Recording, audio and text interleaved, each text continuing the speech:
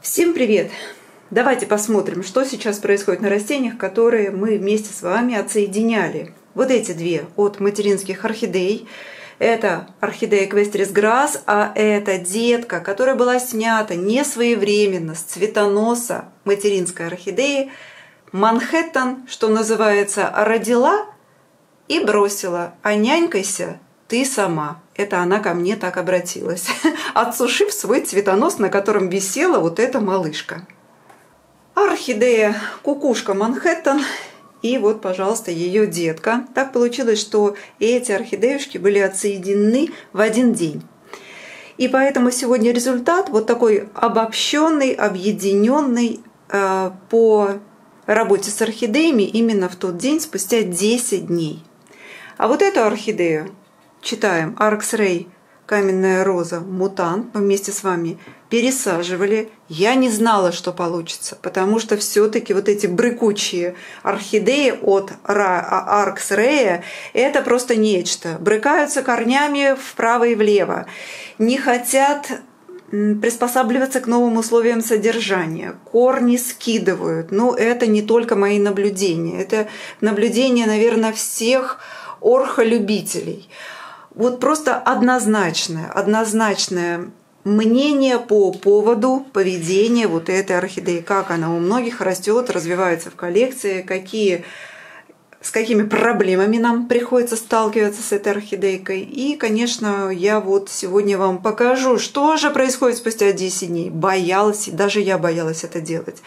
Омолаживать иссекать старый ствол и размещать практически все воздушные корни, там буквально несколько корней было, а, настоящих грунтовых у этой орхидеи, а так вот воздушное все было помещено вот в такую вот посадку. Я изменила для этой орхидеи систему посадки на автополив, потому что в двойном горшке все-таки для этих корней было влажновато. Давайте смотреть результаты. Вначале, ну давайте я вот брошенку вот эту вам покажу. На удивление, спустя 10 дней смотрите, что происходит с орхидеей. Вот это листочки, вот такой вот окрас на орхидее Манхэттен, это генетика этой орхидеи. Немножечко э, листики орхидеюшки пятнистые, напоминают отдаленно рисунок змеиной кожи на листочках. И вот посмотрите, как мне кажется, немножечко стал увеличиваться вот этот листик. Это первое, что происходит с этой орхидеей. Второе. Нет потери тургора вот этих двух листочков. Но я вам, конечно, говорила о том, что на момент размещения с одним корнем, но длинным корнем, но воздушным корнем, как он заработает в грунте в посадке, для меня было тоже абсолютно непонятно, не очевидно. Да, я делаю именно а, так, как считаю нужным, необходимым относительно всех тех методов, которыми я пользуюсь. И вот применив вот этот метод размещения одного единственного воздушного корня вот в такой, я не знаю, 150 грамм, наверное, этот стаканчик, дырчатые стеночки. Почему? Потому что мелкая кора с триферном. С триферном? Да, с триферном, конечно. Подождите, нет, триферна нет, только мелкая кора, без триферна.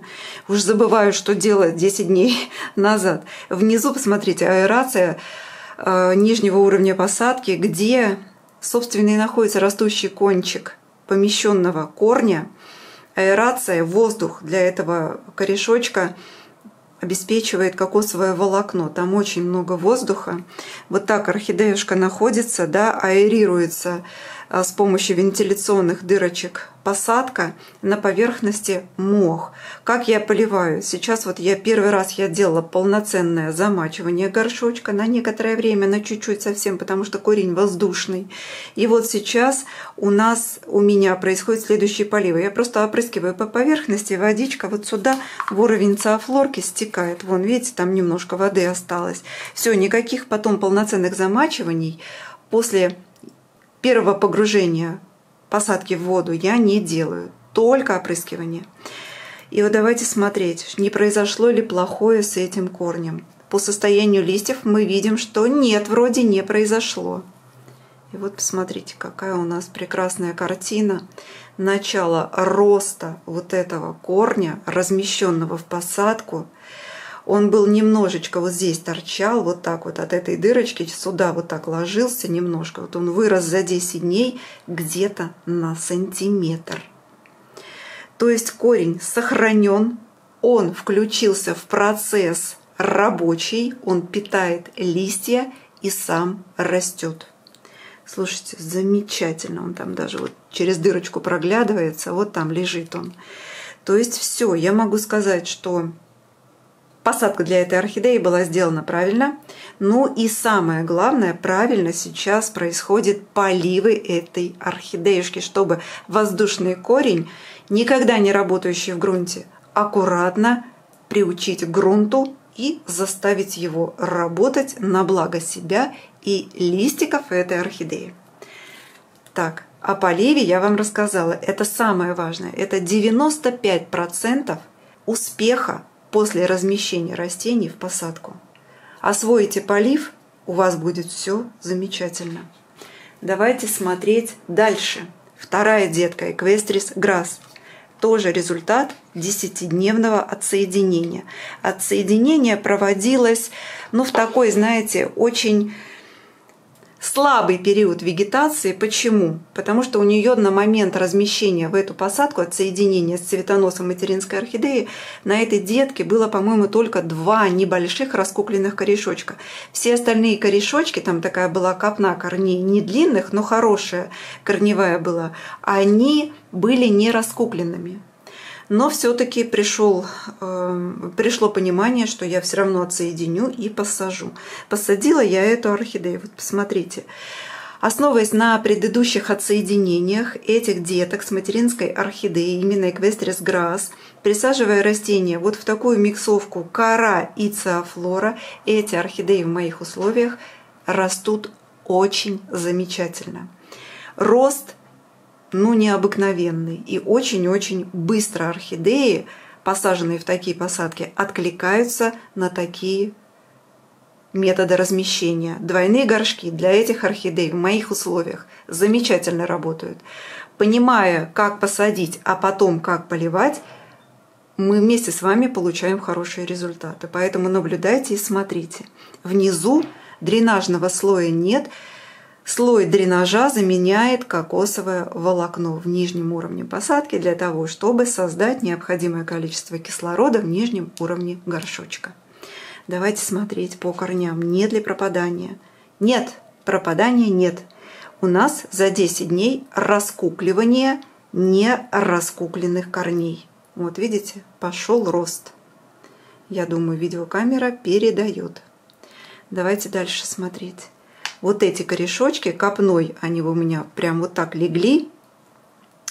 Эту орхидею я э, тоже очень аккуратно заполняла водой при первом поливе после размещения буквально на короткое время, чтобы также воздушную корневую систему приучить работать в грунте. Давайте смотреть дальше. Сбоя по корням не произошло. Корни все находятся в целостности и сохранности. И вот смотрите, чем ниже корешок, в посадке, тем он активнее реагирует на влажность, которая есть в нижнем уровне горшочка. Вот замечала Эквестрис Грасс, вы знаете, несмотря на то, что хорошая делается влагоемкая посадка в присутствии немалого количества циофлоры, корни все-таки любят влагу у этого гибрида. Давайте верчу горшок дальше. Вот у нас, посмотрите, куда стал раскукливаться корень он ищет влагу, он растет туда, куда нужно. Вот это не пропадающий корень. Вчера просматривала, это тут фрагмент а, кокосового вкрапления. Вот. Поэтому корешок растет, все замечательно. Попить. Попить сейчас можно дать, но как при наличии влаги внизу посадки, как я поливаю вот такие посадки. Я их опрыскиваю, полноценно опрыскиваю с намоканием верхнего уровня грунта. Вот так. А, так, по горшочку я вам все показала, смотрите. И сейчас мы с вами отправляемся на стволик этой орхидеи. Листик подрос, кстати, видно это. Давайте смотреть, какой у нас за 10 дней хороший прирост по корням в верхнем уровне стволика. Видите, корешок с одной стороны.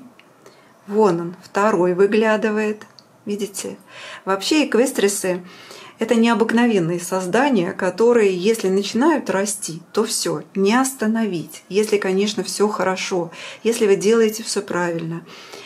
Наблюдая за растением, э, я вам могу по конкретному сорту, по конкретному гибриду сказать свои наблюдения относительно моих норм содержания растений, относительно посветки, температурных режимов, как поливать, во что посадить и так далее.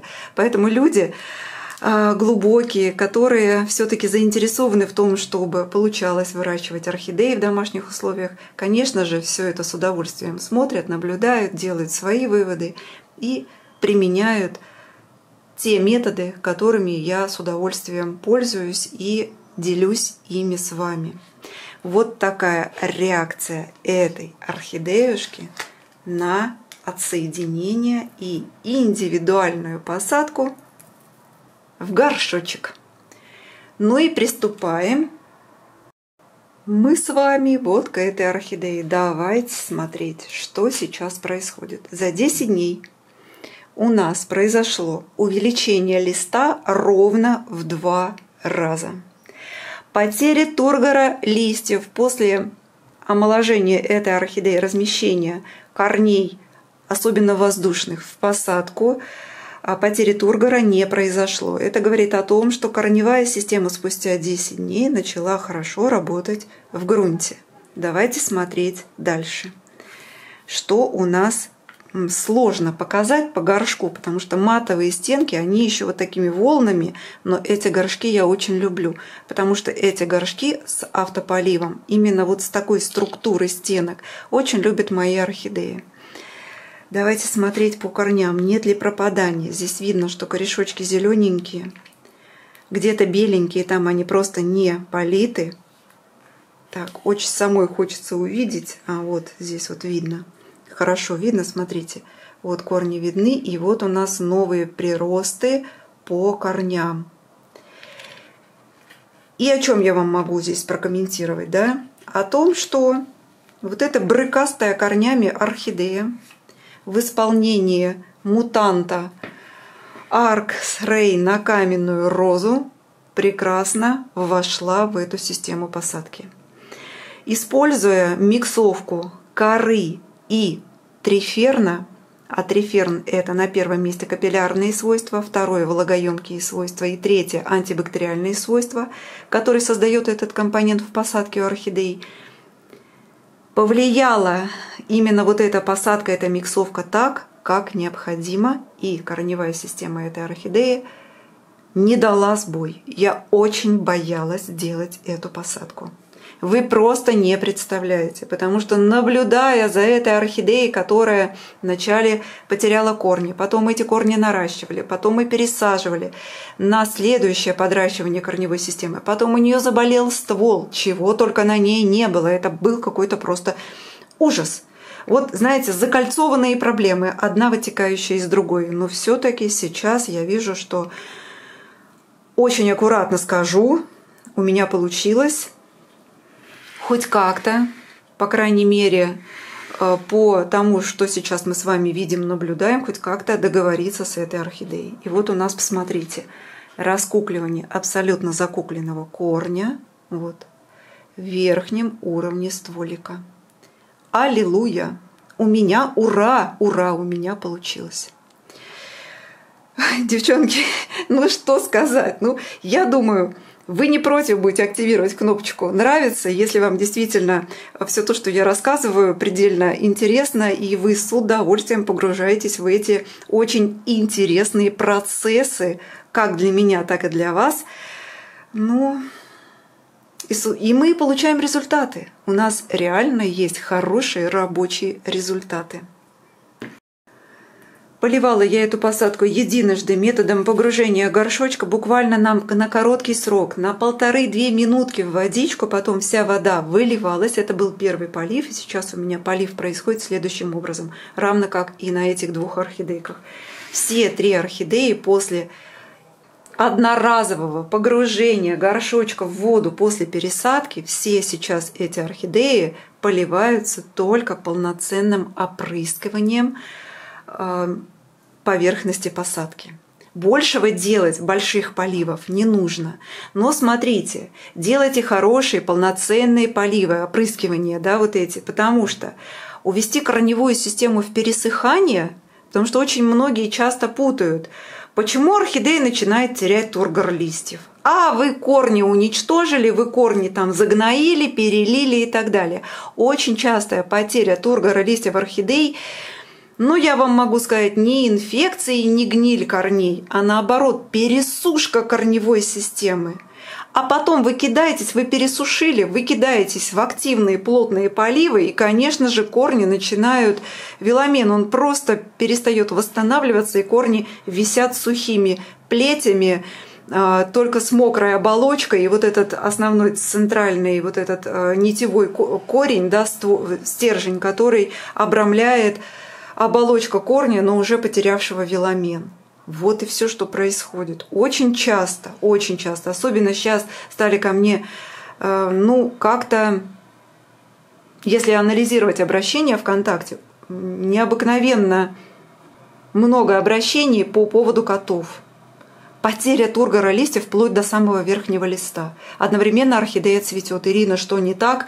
Вроде как поливаем. Я говорю, вы понимаете, коту во время цветения нужно больше влаги. Вот он такой. Сейчас поддержание цветения у кота идет, у, у корней, но листьям не достается влага. Начинаем менять полив, на погружение горшочка в воду все, тургор восстанавливается, цветы сохраняем, листья сохраняем, корни сохраняем, все получается. Понимаете? Поэтому научитесь наблюдать и анализировать. Это очень-очень важно. Ну что, думаю, вам понравилось. Жду от вас комментариев, потому что все, что я для вас показываю, считаю необходимым и важным к показу. Желаю я вам здоровья, благополучия, всего вам самого-самого наилучшего – Всем пока-пока, до новых встреч!